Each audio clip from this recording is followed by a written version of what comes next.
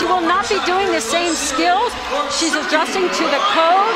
In college, this will be a full.